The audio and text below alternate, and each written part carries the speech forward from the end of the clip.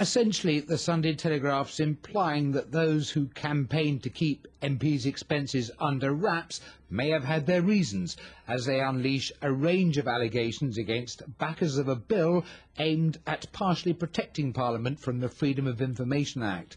For example, they say former Tory Chief Whip David Maclean, who introduced it, spent more than £20,000 doing up his second home at taxpayers' expense, then sold it. The senior Labour election coordinator Fraser Kemp claimed for two DVD players one month apart and for 16 sheets in the space of seven weeks for his one-bedroom flat, he has admitted to making mistakes. Conservative MP Julian Lewis is reported to have claimed nearly £2,400 on kitchen appliances and over £4,800 on redecorating his house.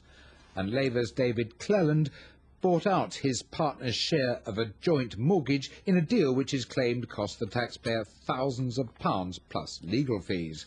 Perhaps anticipating further problems, Gordon Brown's pledged in the News of the World that no MP who has defied the rules will serve in his government, though commentators warn he'd best not be seen to be trying to outsmart David Cameron. If they start turning it into a party political battle, I think the public will react against that as well, because the public recognise that they are pretty much all as bad as each other.